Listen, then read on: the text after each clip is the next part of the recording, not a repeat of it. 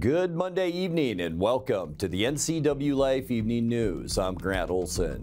Here are a few of the stories we have coming up for you tonight. Three people are displaced after a Friday afternoon house fire that tore through a Sunnyslope residence. A lower income housing project in Grant County is among those receiving a historic amount of state funding. Wet and warmer weather this week with temperatures in the 40s this weekend. All the details coming up in your local weather forecast. Podcast.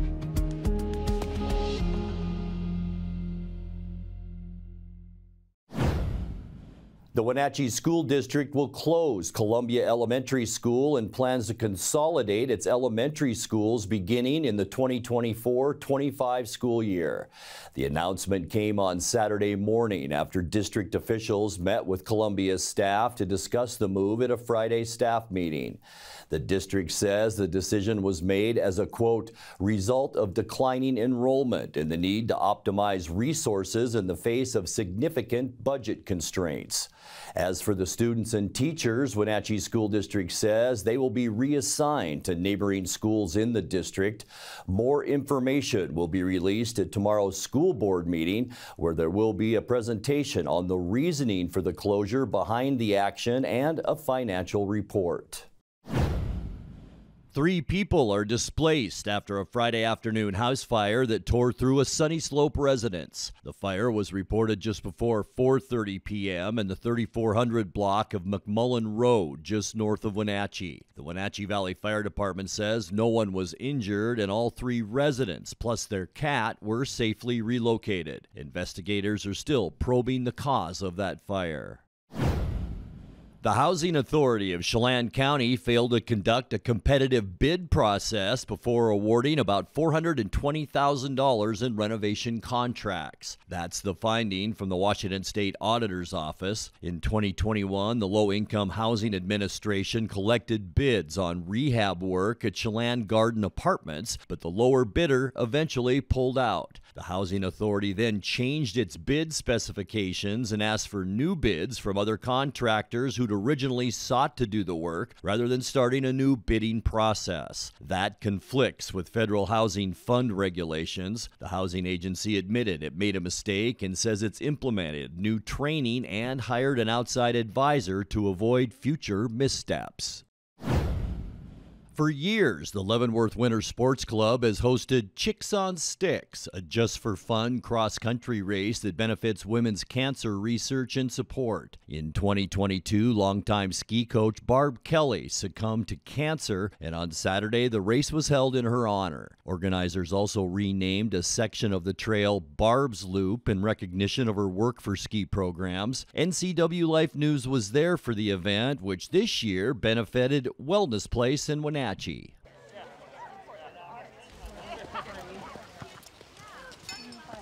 I've uh, done Chicks on Sticks kind of throughout my entire childhood. I remember coming out as a kid dressed up in all pink and the full costume and just doing the little loop. And then as I got older, like in high school, there was a chunk of time where there's like there's a bunch of women in their like 40s and 50s who are very competitive. So I'd come out and I'd be racing and be like me and my mom and a couple of her friends all duking it out. So yeah, it's always been a fun fun community event. She never organized it, but always raced in it. Skiing was always like one of her passion things. She started skiing in high school back in Minnesota and then went to college in Montana and skied there. And then when she moved out here, started skiing and got involved with the Nordic team probably around the time I started, so like 2005.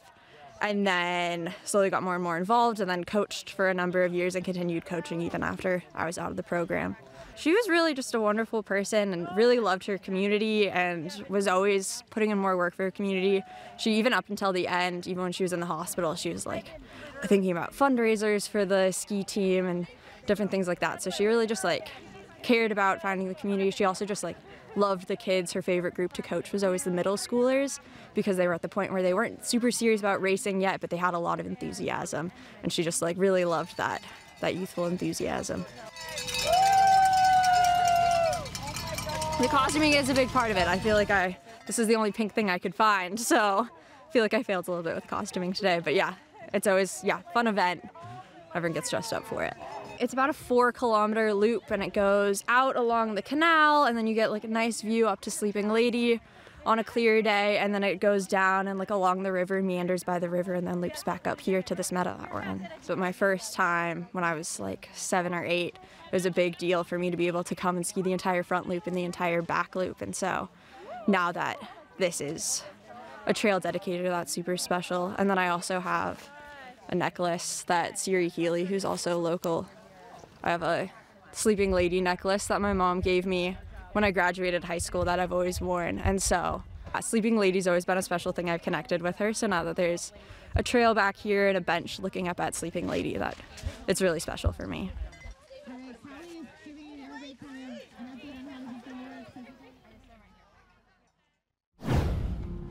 When we come back, a Washington Senate bill to make educational curricula more inclusive of LGBTQ and other marginalized groups passed into the House last week. And six local celebrities competed in Dancing with the Wenatchee Stars on Saturday at the Numerica Performing Arts Center to raise money for nonprofits.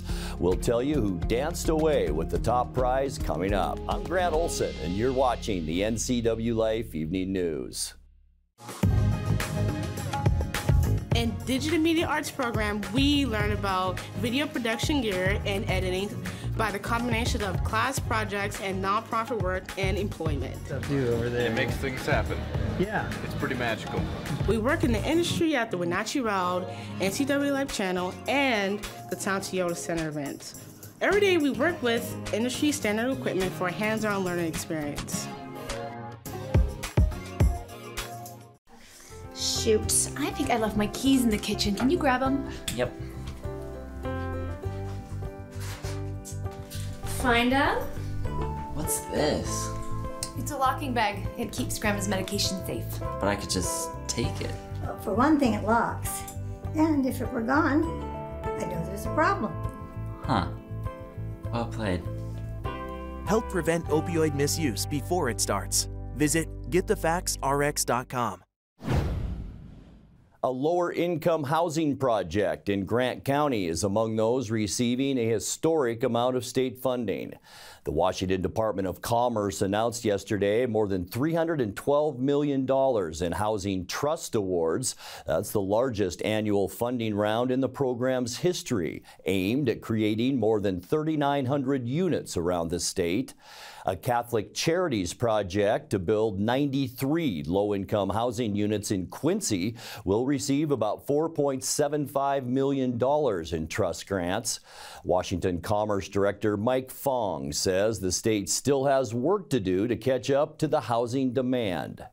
Given our growth uh, trajectory over the next 20 years, we're looking at a need of 1.1 million new homes uh, to meet uh, future growth. And uh, at the same time, we have dug deep and to understand where that growth uh, is expected to happen. And our assessment is provides you know every county uh, across the state with uh, projected targets based on different income levels as far as what those needs might be. You know, uh, going down the list from Adams to Yakima County, all 39 have specific targets from us as far as what those future needs uh, look like. Uh, and the truth of the matter is, is that we've got we've got work to do. You know, we're not there, and on the current uh, level of housing production, we're gonna we're gonna fall short, and that is only going to exacerbate the housing crisis that we're facing today.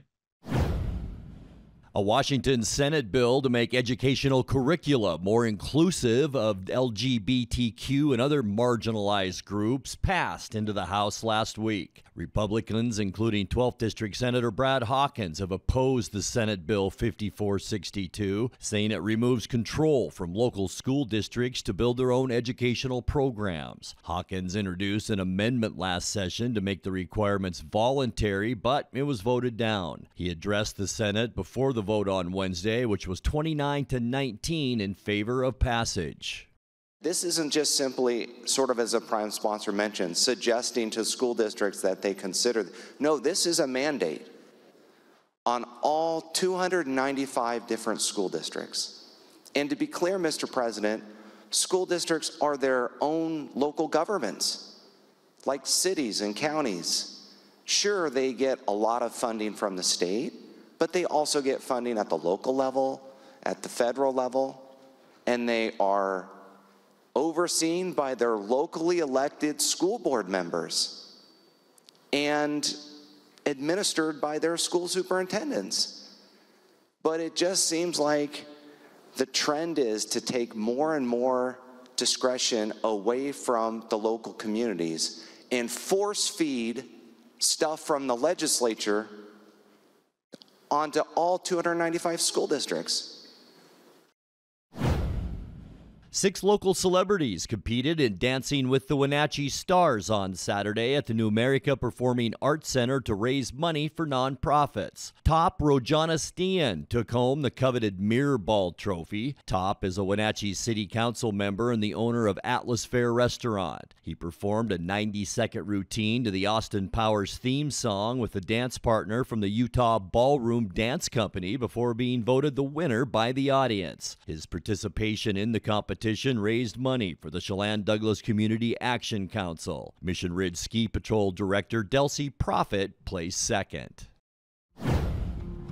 Coming up next in tonight's feature story, Eastmont Superintendent Becky Berg sat down with NCW Life's Jordan Gonzalez to break down how the school board decided to mold a $117 million bond with no tax rate increase around the community needs. Wet and warmer weather on tap this week, and I'll have all those details coming up in your complete local weather forecast. That and much more still to come tonight. Please stay with us.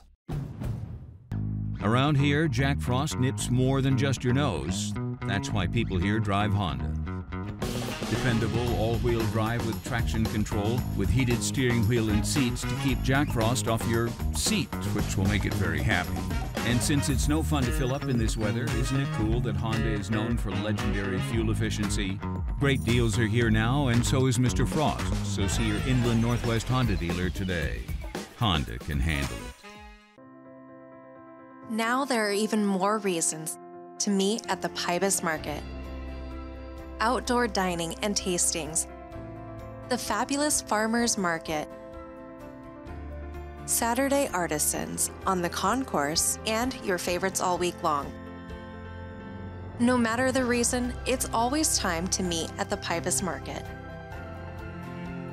Pybus Market, where community meets.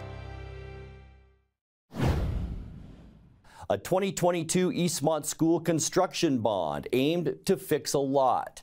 They wanted to modernize their elementary schools, update their athletic facilities, and build a new transportation center. The $185 million bond went on to fail during the November election as it was unable to meet the 60% supermajority threshold needed to pass with only 51% of voters approving the measure. The Eastmont School Board went to work to figure out what the community wanted. Now they're trying again. In tonight's feature story, Superintendent Becky Berg sat down with NCW Life's Jordan Gonzalez to break down how the board decided to mold a $117 million bond, one Eastmont says has no tax increases around the community needs. At Cascade and Kenroy Elementary Schools, students walk outside to get from one place to the next. At Lee Elementary, the 5th and 6th grade classes are all held in outdoor portables. At Rock Island Elementary, the roof needs to be replaced. The four schools are named in a school construction bond that would modernize Cascade, Kenroy, and Lee, and Rock Island would not only have a new roof, but a single point of entry. Additionally, a portion of the bond would allow for safety, security, and accessibility upgrades at all schools. All of these things were what members of the community told the district they thought were the most important. We've enjoyed a rich legacy in Eastmont of voter support um, and just an all around um, support of our kids. So I think that showed in the last bond. We just didn't get the heavy lift to 60%. Um, when we asked voters why they voted the way they do, did and do they have any input for us, most of them said the scope of the bond was too broad and the price tag was too high. The four kind of anchor schools are still the four anchor schools in this upcoming bond. They're our oldest schools, so they are Rock Island, Cascade, Kenroy, and Lee. Um, so we'll totally modernize the th- three, and then Rock Island will do some major upgrades. Uh, in the last bond, we also had a new transportation center. We had athletic upgrades. We had additions to Sterling Junior High. Um, we had safety upgrades, but the safety upgrades remain in this new bond. Over 900 people participated in an online thought exchange, which helped the district better understand what the top priorities were for voters. It was determined that Cascade, Kenroy, and Lee schools were the most in need of rebuilding, and Rock Island also needed work done. Participants agreed the athletics facilities needed upgrades, but not through increasing taxes. The transportation center was also deemed a nice to have and not an immediate need. Still, the district was able to make some improvements we did really when the bond didn't pass is we asked the community for input and we took very close um, inventory of our facilities and decided what really can't wait. Um, if it's student safety it couldn't wait not in general but um, if we have a buckling floor or something that kids are tripping over something like that we had to fix those. So um, since there were no athletics during covid we had um, a few hundred thousand dollars left in athletics reserve that we were able to resurface the track with the track really needed it. Kids were um, getting hurt, twisting body parts and ankles and things. So we're happy about that. And then the board decided to take a little bit out of reserve. Um, every district needs a rainy day fund. We we have to have a few months of payroll. We have to have a few months of everything. Uh, it would be irresponsible to the taxpayer not to. But the board decided to take a little chunk of that out to buy the lights at the high school. Um, and then we are addressing the needs of Eastmont Junior High's gym floor that has buckled with water. Moving forward, all eyes will be on the February 13th special election, where voters will determine the fate of the schools. I hope that the community feels like we've responded to their needs and their wants, and they are the they're the um, kind of custodians of this asset. Uh, these are their buildings, um, and so we need to reflect their values. Time now for a check of your north central Washington weather forecast. Hope you had a fantastic weekend. A little more snow, some misty rain showers over the weekend, but I'm sure you felt the warmer temperatures too, especially yesterday. We had even more of that today, but we also had a lot of these low hanging clouds, a little bit of light slushy snow overnight, and then some rain showers during the day today. And now we're even seeing a little bit of patchy fog out there. That began to develop this afternoon, and that will be in our forecast forecast right through the week. And we will also see periods of valley rain, maybe mixed with a little bit of accumulating snow at times, but then that'll melt off because our temperatures are going to warm up. We're talking mid 30s to low 40s as we make our way through the week and then in the low 40s as we get into the upcoming weekend. So wet and warm for our rest of our week ahead. Today, 35 degrees, and that's exactly where we should be for this time of year. 50 50 is our record high. That was set in 2011. 30, our overnight low this morning. 5 degrees above 25. That's our normal low. 6 below our record, and that was set in 1969. 24 hour precipitation, 12 one hundredths of an inch, and that gets us to 63 hundredths of an inch now since January 1st, and we're less than a tenth now below where we should be for precipitation. A few more inches of snow, too, now gets us to 24 inches, and that's for the winter season, which goes back to October 1st of 2023. Sunrise 7:38 this morning, and the sun set this afternoon at 4:47. All right, here's your Tuesday temperatures, and you can see we're starting to warm up. 37s in the Columbia Basin for Moses Lake and Ephrata, and then a lot of 38s on the map. Quincy, Wenatchee, also Cashmere, Entiat, a little bit warmer in Chelan and up into Omak with temperatures near 40 degrees tomorrow. Even a nice one up in Lake Wenatchee tomorrow above freezing with a high expected around 35 degrees. Tonight we can expect mostly cloudy skies. You can just see the edge of an area of low pressure that is moving in. Here's the trough that's pulling through the state right now. And there's that fog that we are expecting. Patchy fog all over Washington state. That'll be overnight tonight with lows mild in the mid 30s. For Tuesday, mostly cloudy, just a slight chance of rain showers as this area of low pressure gets a little bit closer closer to the coast. We will see temperatures tomorrow in the upper 30s, so it should be beautiful. That's going to feel awfully nice after our cold snap on Wednesday. Cloudy skies, and there's that big old area of low pressure. It's going to bring rain showers during our morning commute. And here you go when you get off work on Wednesday. It's just going to be a wet one throughout the day with highs just cooling back on Wednesday into the mid 30s. But as we get closer into the end of the week, then cloudy skies, another storm set to move in. High pressure, though. Another nice ridge will be over us on Thursday. That'll keep us nice and mild as well, with high temperatures on Thursday in the upper 30s to uh, near 40 degrees. For Friday, cloudy skies. That storm system pushes on shore. Not so much in the morning. It'll be mainly evening rain showers. High temperatures again in the upper 30s for Friday. Getting you into the upcoming weekend, we do expect cloudy skies to kick off our weekend and probably a wet one too. Not a lot of rain showers during the day, but later on in the afternoon on Saturday, there we go. A good chance that we'll see the wet stuff. Highs again on Saturday in those upper 30s to near 40 degrees. And then finishing up our weekend, there's the storm that will move through on Saturday. There's our new weather maker as it continues to move east. We'll see about a 30% chance of rain on Sunday, and it's going to be nice with high temperatures in the low 40s. Let's take a look now at your seven day forecast. 34 degrees overnight tonight, so we're going to drop one whole degree for our overnight low. Just some scattered showers for Tuesday and 38. A better chance for rain on Wednesday. We'll see about an 80% chance of the wet stuff in 36. And then nice warm up as we get into the end of the week. Isolated showers Thursday and 39, and then a good chance for rain both Friday and Saturday. 38 Friday, 40 your high on Saturday, and then by Sunday, mostly cloudy, a 30% chance of the wet stuff with high temperatures around 41 degrees. And that's a look at your north central Washington weather forecast. Coming up next, tonight's sports report with Dan Kuntz and more as the NCW Life Evening News continues right after this. There's no place like home because home is where we're totally comfortable. It's where we can be ourselves and let our guards down. It's where we make memories. And we're always imagining new ways to keep it totally comfortable. Carrier, total comfort, totally happy. Turn to the experts, Carrier and Alpine Air. Heat and air, call Alpine Air. Want to take me to the sports update. Auston Matthews scored his NHL leading 38th goal last night. Unfortunately, Mr. Matthews plays for the Toronto Maple Leafs, and Toronto knock off the Kraken last night at Climate Pledge Arena. The final was 3 to 1.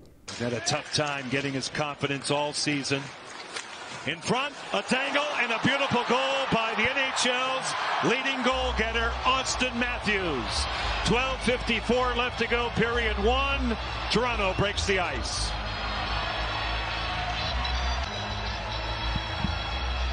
Well, Ryker Evans leaves the front of the net, anticipating that he was going to get this puck. But Marner beats him to it. Once he leaves the front of the net, that leaves Matthews all by himself. And oh my, what a play by the leading goal scorer in the National Hockey League. Kraken kill is over. Bertuzzi, Domi. In front, they score. Nick Robertson. 17.09 left to go in the second period. 2 0 Toronto. Moves the puck up quickly. Nice little sauce pass here to Domi. Able to just get that puck around. Right here, Domi, they got a sliding Dumoulin going through, and it's Robertson on the back post. Back of the goal is Tomas Tatar. He'll elude two checkers, cycle out with it, turn, shoot it, off bodies, it's loose, they score! Jordan Eberle, right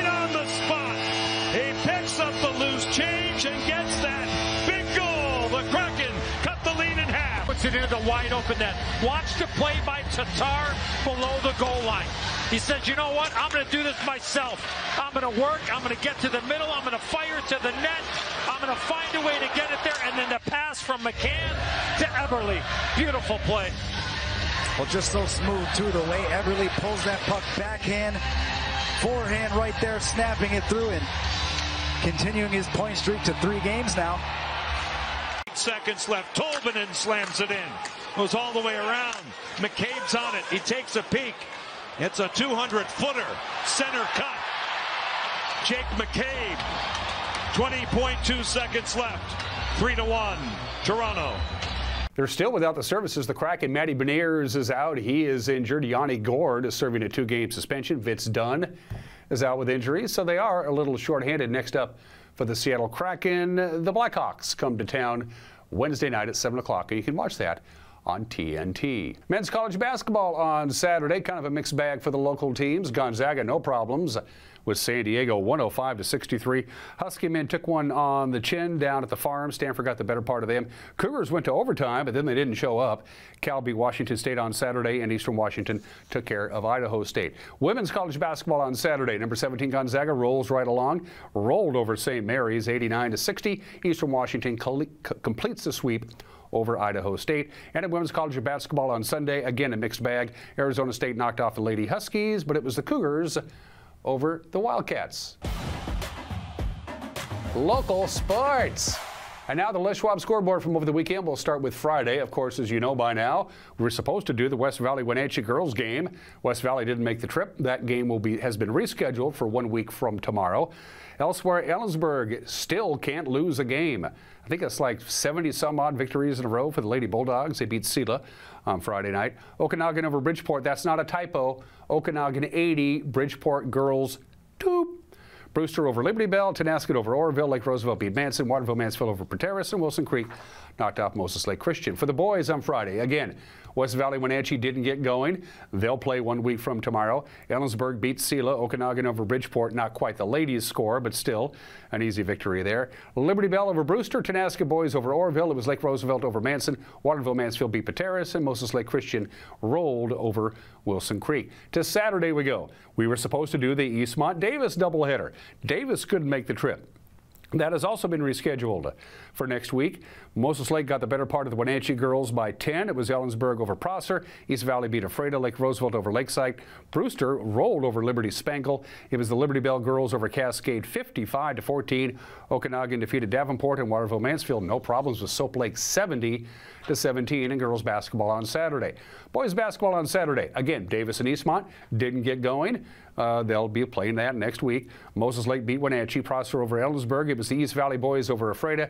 Lake Roosevelt beat Lakeside. Brewster over, the, over Liberty Spangle and boys basketball on Saturday night. Liberty Bell beat Cascade. Davenport over Okanogan. And Soap Lake got by Waterville Mansfield. As far as the Wenatchee Wild was concerned, a mixed bag over the weekend. All three goals Saturday night scored in the first period within about two and a half minutes. Over 4,200 people on hand at the Town Toyota Center on Saturday night. Fourth largest crowd in franchise history, but Spokane wins 2 to 1. Yesterday, everybody scored. It seems that way.